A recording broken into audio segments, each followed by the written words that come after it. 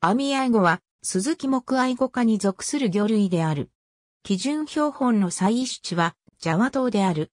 沖縄では幼魚を、つく、制魚をエークワー、またはエーと呼ぶ。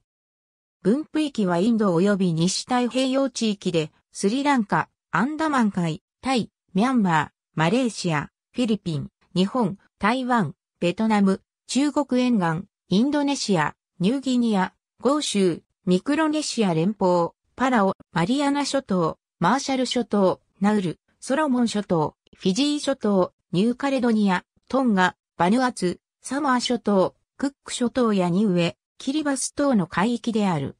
水深1メートルから50センチメートルの浅いところに生息する。体は上半分が高褐色、下半分が白色を呈する。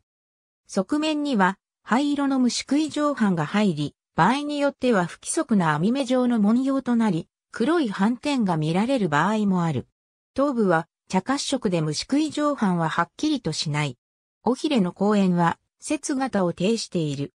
背びれは、トゲ状13本、南状10本、尻びれは、トゲ状7本、南状9本である。体長が最大28センチメートルに達するものもいるが、通常18センチメートル程度である。